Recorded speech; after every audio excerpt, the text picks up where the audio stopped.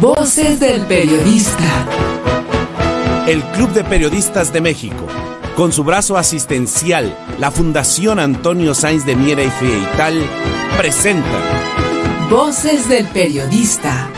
Conduce Celeste Sáenz de Miera. Comenzamos.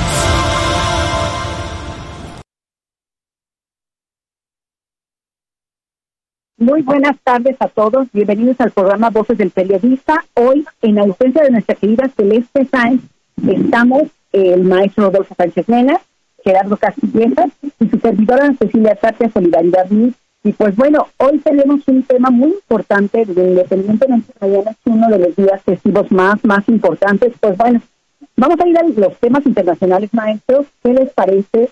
Eh, si podemos comentar antes de irnos también a los temas nacionales y por supuesto escuchar posteriormente al maestro, al doctor Rodolfo Danza Rovira, pues escucharemos en este momento a Gerardo Castillejas platicando acerca de qué hace Zelensky en, Washington y por ahí todas estas motivaciones que, que tienen que ver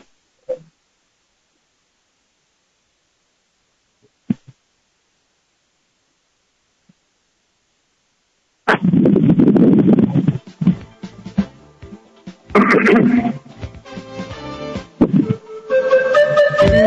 you.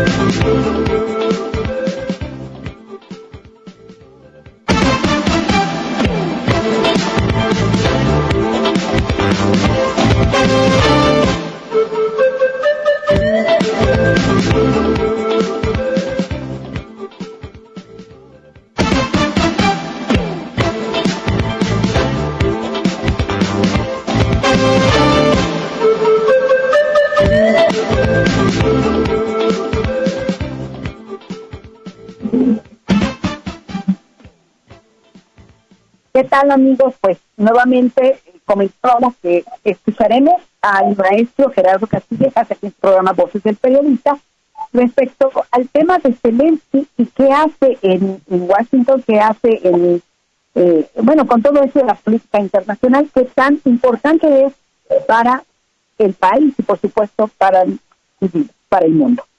Maestro Gerardo. Hola, te mucho gusto y gracias. Un saludo a mis compañeros aquí en el programa y por supuesto a nuestra querida audiencia. Muy importante, muy importante ver lo que hizo Zelensky eh, en Estados Unidos, en Washington. No hay, yo creo que lo primero es que no hay que ver, no hay que considerar el viaje de Zelensky solo como un truco, no un truco publicitario para presionar al Congreso de los Estados Unidos, para que aumente el flujo de dinero y de armas eh, a Ucrania. En realidad esto es mucho peor. Esta visita que hizo Zelensky en realidad es una muestra de que la OTAN está dispuesta a seguir en una escalada mucho mayor de lo que ha hecho eh, de agresiones y sobre todo el propósito, como ha quedado claro, es desgastar a Rusia. Esta es una guerra de la OTAN contra Rusia. Ucrania es solamente un, instrumento que se usa. El asunto es que sobre esta visita, yo quiero destacar algo que no se ha publicado en México, es eh, lo que está diciendo el Consejo Atlántico. Este es un grupo importante en los Estados Unidos, muy influyente del gobierno de Biden, un grupo de intelectuales, expertos, como le llaman en Estados Unidos, un think tank, o sea, este grupo que influye en las decisiones eh, y que está eh, siempre eh, comandando a los halcones de la guerra, los que todo el tiempo en el Congreso, dentro del gobierno de Biden, están llevando las cosas hasta una confrontación con, con, Rusia.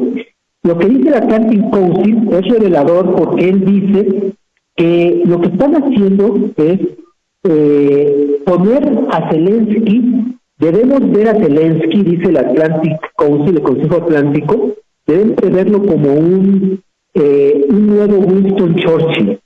O sea, el Winston Churchill moderno que ahora los europeos están mandando a los Estados Unidos para conseguir armas y todo lo que necesitan para pelear contra Rusia. Eso fue lo que hizo Churchill en la Segunda Guerra Mundial.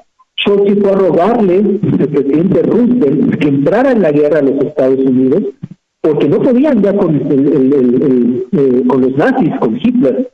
Entonces ahora quieren que se vea como ese Churchill y que lo que tienen que hacer los Estados Unidos es dar todas las armas que está demandando Zelensky, las armas de, de, sobre todo de más profundidad, nuevos proyectiles, aviones, artillería de precisión, todo esto que fue a pedir, como algunos congresistas dijeron, es una lista de, de, de para Santa Claus de todo lo que requiere, porque hay que recordar que esta guerra en Ucrania, o sea, la propia Ucrania que está devastada, no podría continuar Ucrania si no fuera por el dinero que recibe y por las armas. El ejército, las fuerzas armadas ucranianas, técnicamente ya fueron derrotadas.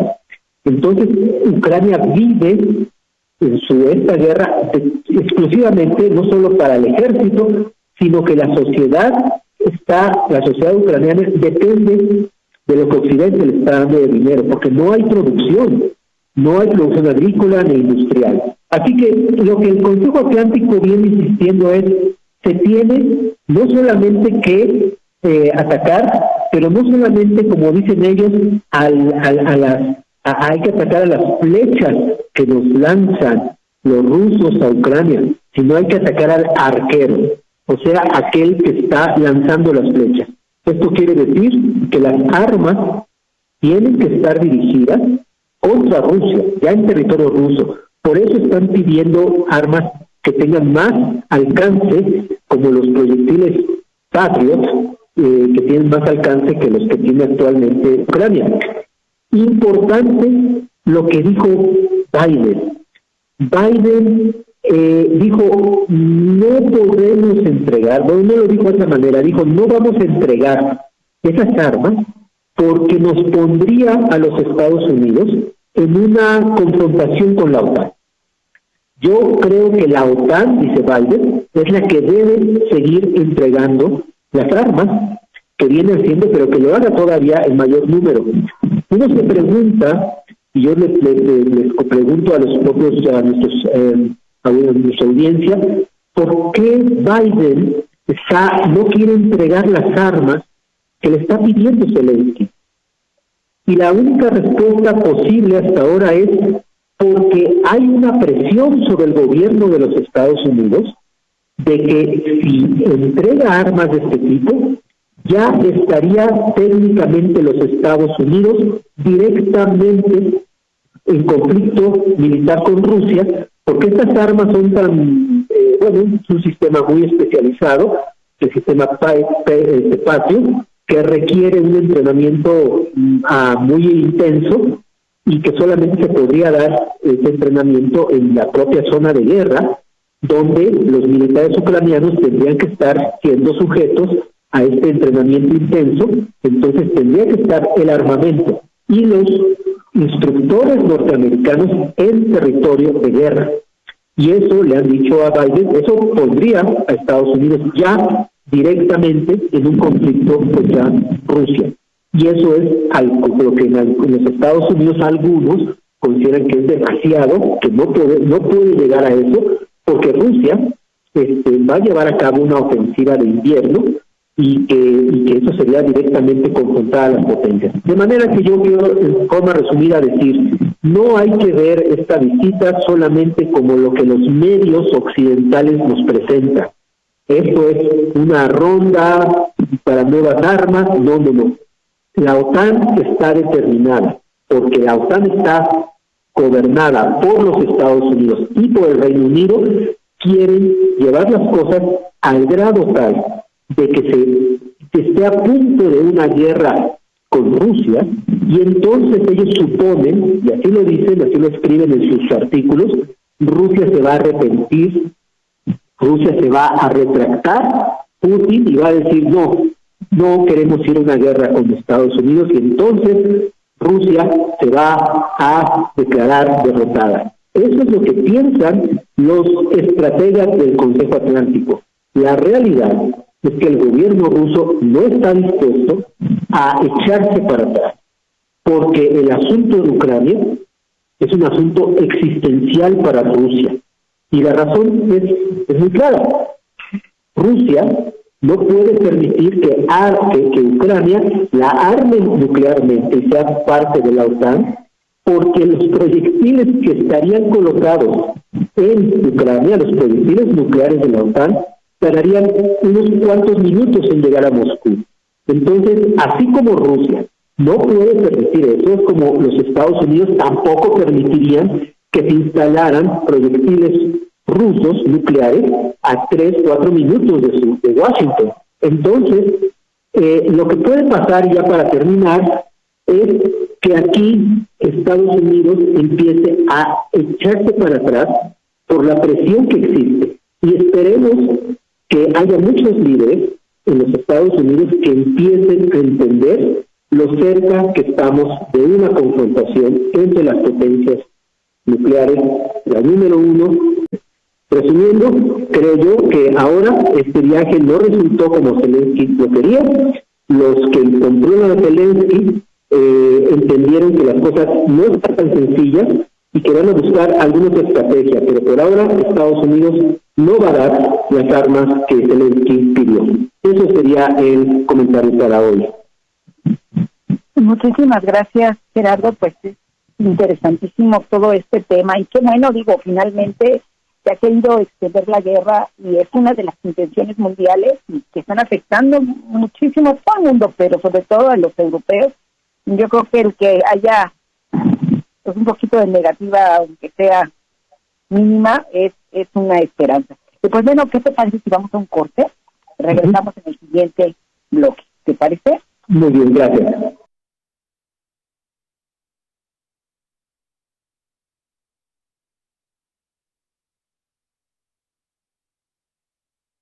Muchas gracias por estar presentes en el programa Voces del Periodista aquí en la 760 AM de la Ciudad de México y radiocañón.com, la estación del Valle de México. Y bueno, hemos escuchado en el bloque pasado a Gerardo Castillejas y en este momento queremos escuchar la opinión de don Rodolfo Sánchez Mena, que, que es un experto en la materia, en todo eso de geopolítica y su estrategia y que siempre nos ha dado los datos más, más importantes. Vamos a continuar con el tema de este personaje que, que de un cómico a un presidente y, y hoy tiene a todo el mundo eh, en un trance muy difícil. Obviamente él no se manda solo. Yo creo que este es un tema que, que bastante bastante puede desarrollar más. Maestro, don Rodolfo Sánchez por favor, todos sus comentarios. Muchas gracias. Ceci, buenas tardes, estimado auditorio.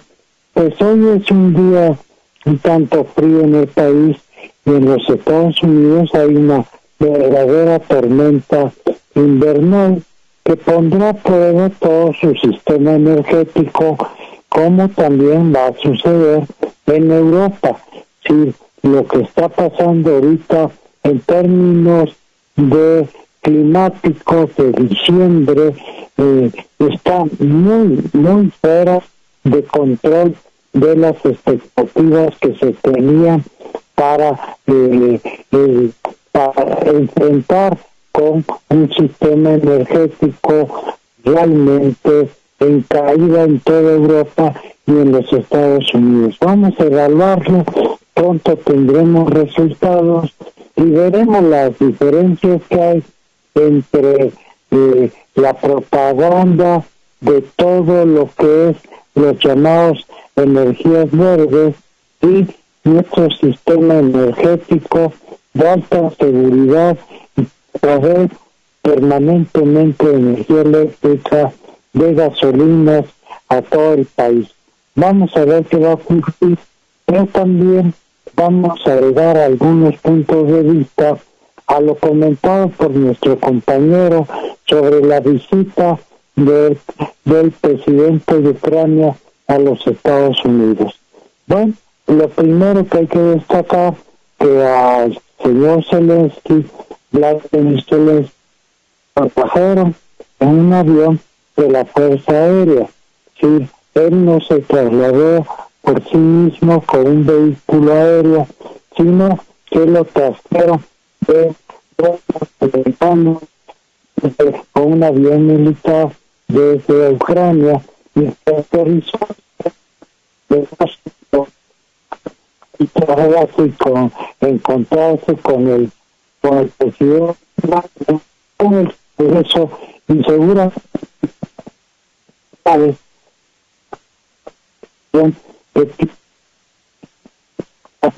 una ofensiva muy fuerte en el, en el, eh, se encuentra con el invierno. Maestro maestro discúlpeme fíjese que se escucha un poco eh, medida su línea ojalá pudiéramos eh, no sé eh, si tenga el tema de, de su cablecito de la línea, entonces sería importante, maestro, para que se escuche toda la información tan valiosa que nos está esperando. A ver, bien. Sí, maestro. Sí, continuamos. Bueno, ah, comentábamos rápidamente, y perdón por, por la falla de internet, pero bueno, pues es una situación que es ajena a nuestra voluntad. Comentábamos que era muy importante considerar la visita del señor Zelensky a los Estados Unidos porque se encuentra en una situación no como nos los plantean los medios de comunicación, que ya sabemos que en tiempos de guerra se trata de la propaganda. ¿Qué nos dicen los medios?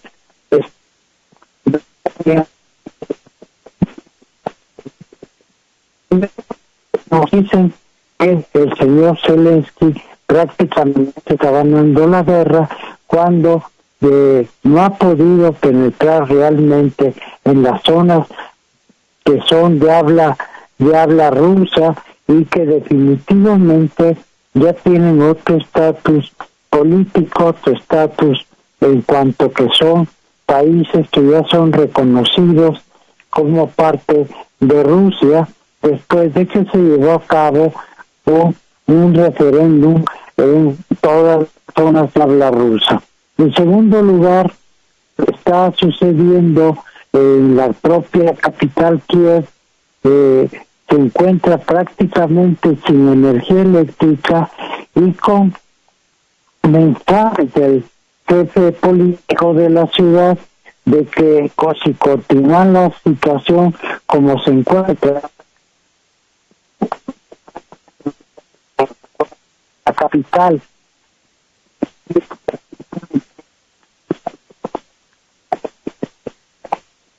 Ucrania para a Rusia en este conflicto. Entonces, el Chelsea, lo que la visita de Zelensky, es en realidad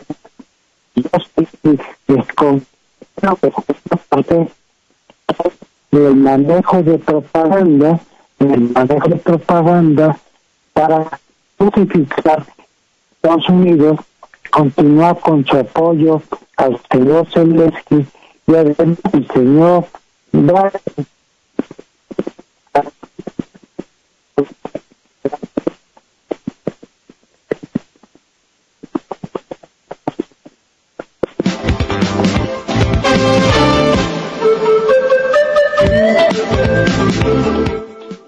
está muy muy muy viciado el, el su, su, su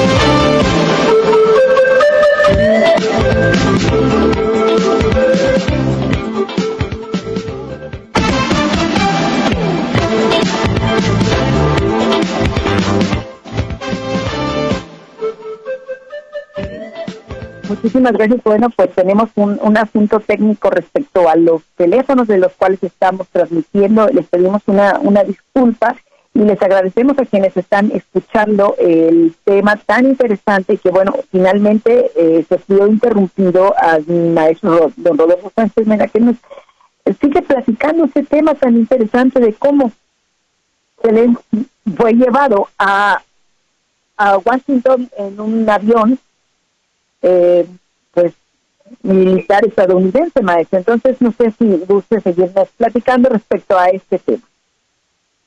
Sí, sí, sí, con mucho gusto. Eh, continuamos con la plática.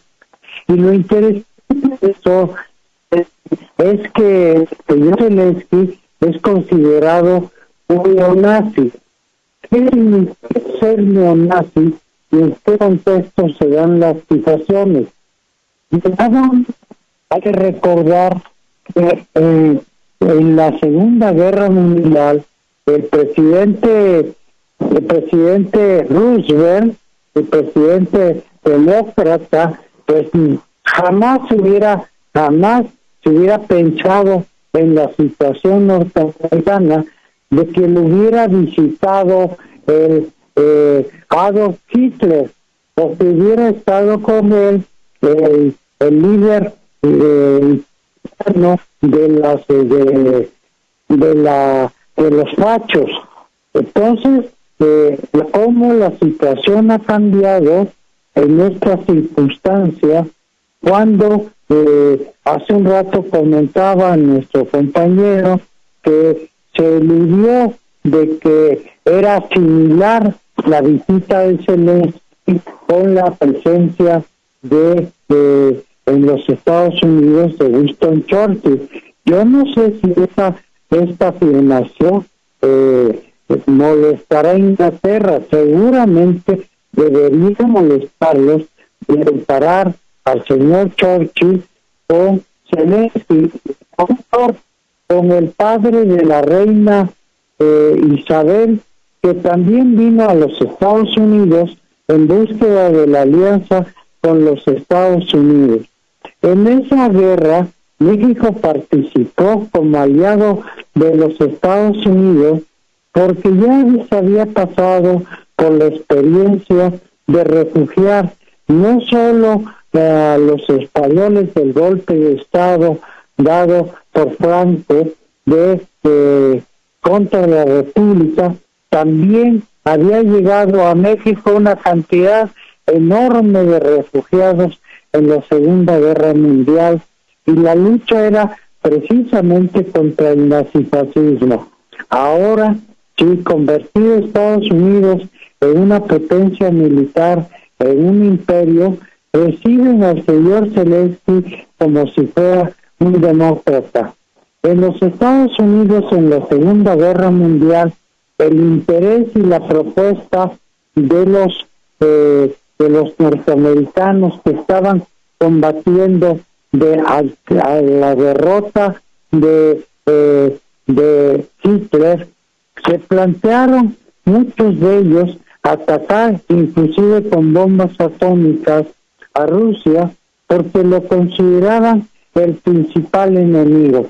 La situación no ha cambiado, se planteaban de esa manera destruir como ahora a Rusia a la que consideran su principal objetivo militar. Esto quiere decir que en estos tiempos la Alianza Europea con la OTAN es parte, es parte de una ofensiva contra Rusia, pero contradictoriamente también es una guerra contra Europa. Ya lo hemos planteado que se trata de una guerra contra Europa porque sin alimentos, sin energía, los países europeos se van a ver, sobre todo Alemania y Francia, se van a ver obligados a trasladar parte de su industria a los Estados Unidos y empezará un proceso de desindustrialización en Europa. Este es el panorama que se está viviendo hoy en este momento en los Estados Unidos cuando se anuncia que tendrán más apoyo militar, más apoyo de misiles como el sistema Patriot y el sistema Patriot si, eh, cuesta cada uno de ellos tres millones de dólares. O sea por cada equipo que se lanza eh, vale tres millones de dólares y el costo para eh, Ucrania cuando se ve obligado a pagar esto van a ser sumas fabulosas que no van a variar el rumbo de la guerra porque definitivamente estos equipos como los que está usando Rusia todavía son equipos con tecnología ya desfasada. Si se escalara a otro nivel con equipo moderno, la situación se volvería para los tanto para los Estados Unidos como para Europa muy peligrosa y lo colocaría, como ya se está argumentando, en riesgo de una guerra nuclear. Esa es la con este tema, ¿qué le parece si nos vamos a un corte? Regresamos para seguir tocando este tema tan importante eh, de la amenaza de guerra nuclear. ¿Le parece?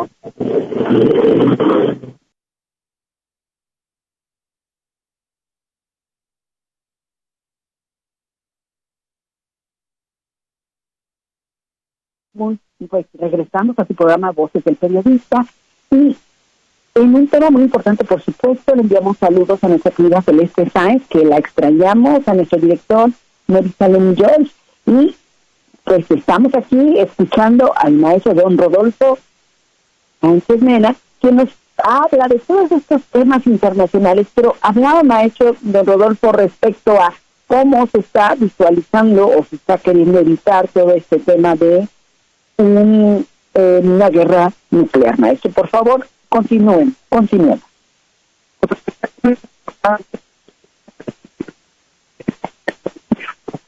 Maestro, maestro, su, nuevamente su teléfono está haciendo, eh, se están escuchando mm, notas este, muy fuertes. No sé si usted me podría indicar si está listo para continuar. Eh, a ver, ¿Me escucha bien? ¿Me escucha bien? Ya, ya le escucho bien, maestro. Por favor, continuemos. Muchas gracias.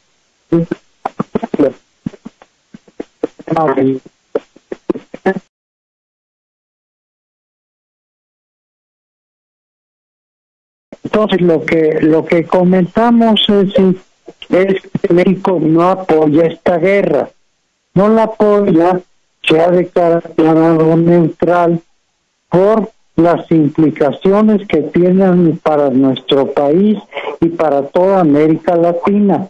El problema para nosotros es que pensemos en los miles de millones de dólares que está gastando los Estados Unidos en su confrontación con Rusia, mientras la situación que en América Latina pues es una situación delicada no nos esperamos del COVID y estamos padeciendo las contingencias de todo lo el ascenso de el costo de la vida, la inflación que está generando la guerra.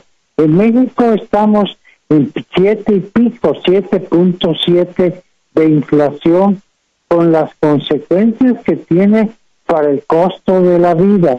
El incremento salarial ya se voló, Ceci.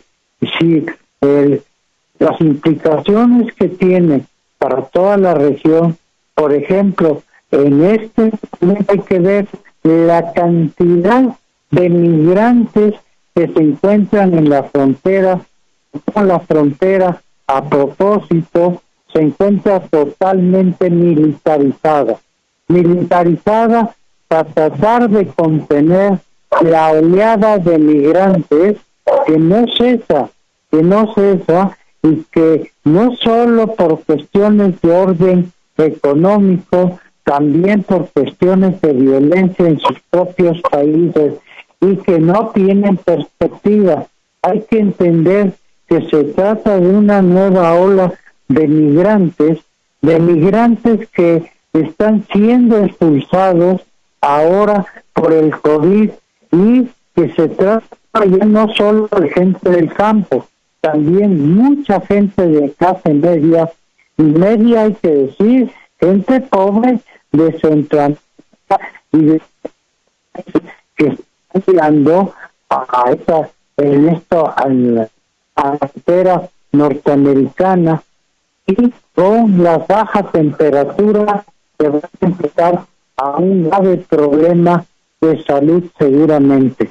No hay refugios, no hay situación que pueda y el presidente va, vendrá a México para celebrar a nuestro país la reunión del PNE con la promesa, como se hizo, de que habrá un nuevo, una nueva alianza para el progreso, como en la época de Kennedy, el presidente Kennedy, que prometió para América Latina eso para el pero que fue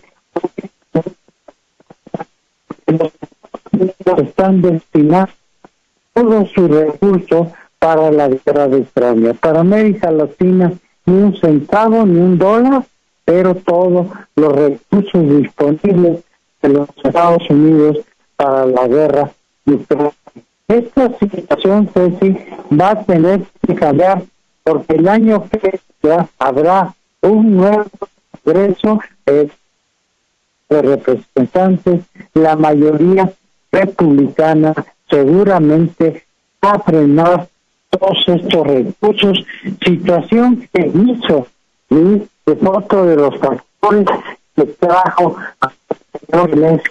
a los Estados Unidos para lo poco que todavía se tiene y hablando de un paquete mucho mayor que prepara para el próximo año, pues no pasará para de representar. Esta es la situación y que cómo en todos los Estados Unidos a la situación de este invierno y un invierno que no solo eh, eh, está eh, cambiando el clima enormemente en los Estados Unidos, sino que también posiblemente afecte a Europa. Así es, maestro. Fíjese qué, qué interesante y qué difícil, porque hoy en Europa, que, que bueno, en algunas partes que nos, este, ya, ya vamos a decir el horario, tienen las luces apagadas, eh, desconectan refrigeradores, eh, o sea, hay cosas que esta guerra que se está teniendo Ucrania con, pues con, con Rusia y que está pidiendo aún sobre los ciudadanos, pues está muy complicado, maestro, y no solamente en la crisis energética que están generando ahorita, por ejemplo, en, en de madrugada en, en Europa, pues tienen que quitar estos calentadores o eh, pues los climas no los pueden entender porque todo es muy caro, la gasolina, entonces de repente el saber que tienen que no prendas nada, ¿no? Aunque sea de noche, algo que quienes están pagando esta esta crisis maestro, pues es son los ciudadanos de pie o a pie, maestro. Pero bueno, interesante, maestro Don Rodolfo, no sé si tenga alguna situación o algo más que comentar. Sí, porque pues, eh, que ya estamos con el pie en la en nuestro país, las campañas presidenciales van a decir, van a subir de tono, y pues va a haber un calentamiento en el ambiente político. Y bueno pues vamos a ver cómo cómo se prepara esta cuestión que es muy importante sí, sí, ya lo habíamos comentado la semana pasada que eh, el Congreso mexicano recibió una propuesta de reforma eh, en, en el electoral y esa reforma electoral considera, contempla eh, el voto mexicano en los Estados Unidos para las elecciones presidenciales. No va a funcionar para las elecciones del Estado de México y para el Estado y para el Estado de Coahuila, por no va a ser eh, sometida en el Congreso hasta febrero y ya se publicará en el diario oficial, pero lo que contiene es el voto mexicano en los Estados Unidos que implica un cambio paradigmático en cuanto a los resultados futuros electorales, en cuanto a los resultados futuros electorales, toda vez que el voto mexicano en los Estados Unidos va a influir eh, de enorme manera en las elecciones en las elecciones presidenciales de México que se considera en la perspectiva que tenemos de que va inclusive a decidir las elecciones presidenciales. Y lo paradigmático está en que en muchos de los análisis que hace este maestro nuevamente lo lo perdimos fíjese que este tiene como un problema falta un minuto para cerrar qué le parece si mientras nos acomodamos pues vamos a platicar un poquito acerca de las tendencias que hay en Twitter y una de las tendencias muy importantes que es la UNAM que está pegada con el tema de Yasmín Esquivel en México que son las tendencias en México, ¿no? Eh, estamos hablando que también hay una tendencia de feliz Navidad, eh, de felices fiestas, de Biden, justamente por los temas que nos está compartiendo el maestro don Rodolfo Sánchez Mena, pero sobre todo, eh, también hay uno que se llama Estados Unidos, y esto justamente es lo que nos comenta maestro respecto a las elecciones, a esa tendencia política en la que, bueno, ya vimos que los latinos están en el ahí pues están muy, muy importantes. se habla de la noche buena, se hablan de varios temas, pero yo creo que regresamos, maestro, ahorita con un tema eh, internacional, cerramos y podemos quizás ya platicar respecto a los temas nacionales que nos están afectando. Y yo quisiera platicar, maestro, están preparando este tema del mecanismo de protección para periodistas, si realmente están empáticos o simplemente ya están pidiéndole a que acabe el año, que acabe el sexenio, o no sé, nada más estar por cobrar. ¿Regresamos, maestro, le parece? Así es, sí, ¿cómo no?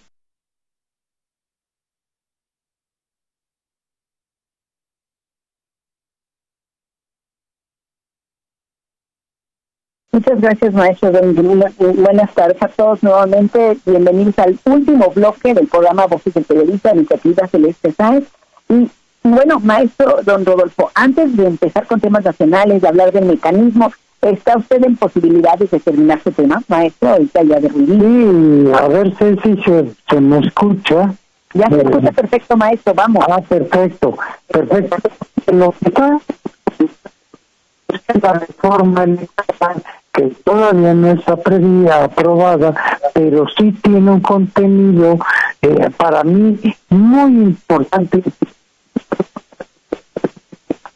tiene que ver con los mexicanos en el extranjero. Cuando hablamos de los mexicanos en el extranjero, nos referimos a un porcentaje, el 97%, punto cinco de los mexicanos extranjeros. Estamos hablando de los mexicanos que viven en los Estados Unidos, el 97%. Y bueno, pues al aprobarse esta reforma electoral eh, en, la, en México, cuando ya se apruebe en febrero y vaya a, al diario oficial y se publique, se hará factible que cerca de 36 millones de mexicanos en los Estados Unidos divididos en dos categorías. Los mexicanos que viven en los Estados Unidos y que no tienen y por lo tanto solo pueden votar para maestro este no, nuevamente lo perdimos nuevamente estamos disculpen. no, pues, maestro no no. se preocupe vamos este porque este tema es muy, muy importante y a veces los mexicanos no entendemos aún la importancia del voto latino, tanto para Estados Unidos como para México, y, y este voto que va a decidir las elecciones, eh, no, no solamente en México, sino también en Estados Unidos. Así, lo, así es, sí. Si me escuchan, pues es la importancia que tiene este voto con todo el impacto eh, que hay y sus consecuencias.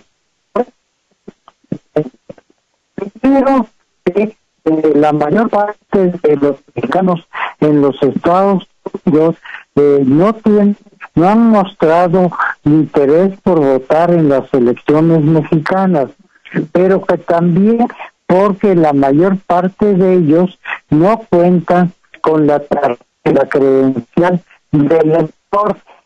Para contar con la elección, para, para que cuenten la credencial de elecciones, tienen que presentar ante los consulados mexicanos una serie de información que a su vez él, los consulados transmiten al Instituto Nacional Electoral para expedir la credencial de electores. Esto va a tener que hacerse a lo largo de todo el año que viene y en el siguiente para que se cuente con no solo con un padrón confiable de votantes, sino también de eh, de gente que cuente con su tarjeta de elección y que puedan votar. Lo mismo sucede con los México norteamericanos que tienen derecho a este voto, pero que no cuentan con el elector. Vamos a ver si hay adecuaciones de simples identificaciones que permitan licencias, actas de nacimiento, que permitan eh, recibir el voto. Y otra cuestión está cómo organizar el voto en los Estados Unidos con las casillas electorales correspondientes, porque el número de eh, consulados en los Estados Unidos va a ser insuficiente. Ahora bien, si se plantea eh, el voto electrónico, el voto electrónico pues va a generar también una serie de situaciones de debate en nuestro país, toda vez en los Estados Unidos, de acuerdo con un documento que vamos a sí, esos votos electrónicos correo fueron de, eh, una situación todavía de debate en los Estados Unidos sobre quién ganó las elecciones, independiente de disputa el gobierno de Valle. Sí, hay una situación todavía de, de falta de comprobación, de verificación de los resultados electorales. Sí, tan importante hacer que, deben de cerrar y evitar una situación en donde genere en nuestro país una situación de, de validación de las elecciones. Muy bien, eso pues bueno, esto, esto es muy, muy importante, la validación, y yo creo que en estos temas, en un momento en el que pues, hay muchas dudas, tanto en México como en Estados Unidos, y que se ha buscado eh, ir esta, estas validaciones, maestro, pues yo creo que lo hemos estado viendo en las redes, lo hemos estado viendo en la lucha, lo hemos estado viendo en el Senado de la República, eh, inclusive, y digo en las redes porque se habló pues lo que pasó con, con Trump, aún a pesar de, de pues que ya pasó el tiempo y que está por concluir este cuatrienio del presidente Biden, pues se hablaba inclusive de por ahí pudiera haber existido un fraude electoral en Estados Unidos. ¿No, maestra? Entonces, pues bueno, vamos a, a, a, estos temas tan importantes. Maestra, pero me encantaría que pudiéramos platicar. Dice que hemos leído mucho el tema del mecanismo para protección de periodistas y defensores de derechos humanos y lo decimos de una manera muy sentida porque pareciera que está infiltrado, maestro, a mí no me quita la idea, y es un tema muy importante, cómo eh, se le está acusando, por ahí si usted ve el, las redes sociales en algún momento, inclusive el Instituto Nacional eh, de Transparencia de Acceso a la Información y Protección de Datos Personales, INAI, le ha solicitado al mecanismo para protección de, eh, de defensores de derechos humanos y periodistas que pues transparente contratos, etcétera, etcétera, porque aparte pues mucho es rentado, ¿no? También que ese es otro tema, pero más allá de todo esto, eh, ¿qué es lo que está sucediendo con los periodistas, con las vidas de, lo, de los personajes eh, que están siendo desplazados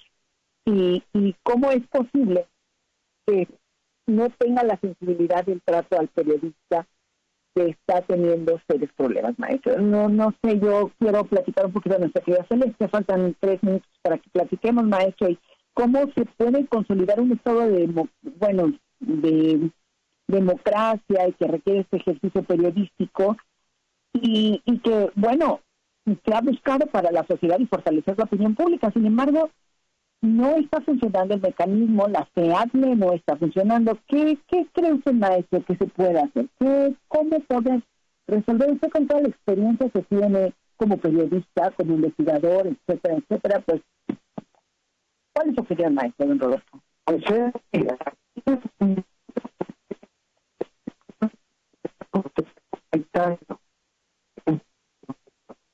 periodistas de que se reúnan eh, periódicamente con fechas determinadas para evaluar el funcionamiento del mecanismo.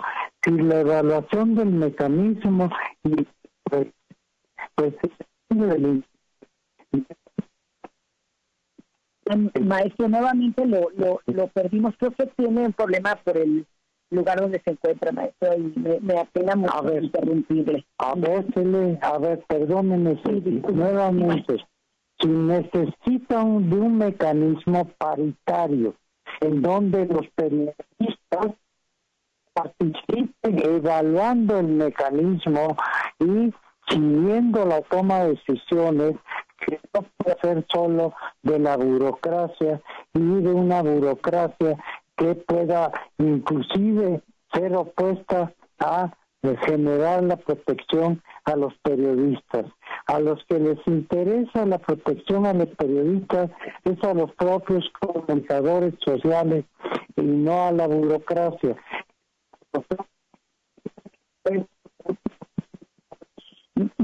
Fíjese, maestro, eh, lo, lo, voy a interrumpir en este momento y, tiene usted toda la razón porque ya estamos casi por salir.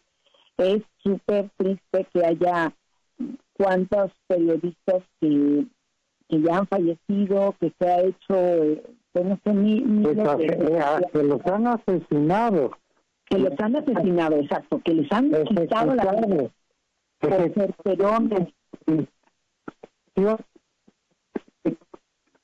hombres. El crimen organizado. Así es, maestro. Pues bueno, yo creo que ya estamos por despedirnos. Eh, la Navidad, maestro, es, es mañana, que es un, se conmemora el nacimiento de Jesús de Nazaret y que es un tema que se ha elegido muy, eh, bueno, principalmente a nivel mundial, es un tema quizá religioso, pero es el gran motivo de la reunión familiar, maestro, de la reunión de amigos, familia y, y de afecto, ¿no? Entonces, pues les mandamos un abrazo de del equipo de la periodista del Club de, México y pues estamos ya cerrando maestro. Despídase y aquí nos vamos. Pues muchas felicidades para todos que pasen con sus familias tranquilamente y vamos a disfrutar de la Navidad Muchísimas gracias, maestro. Y ya con esto nos vemos en el siguiente lunes.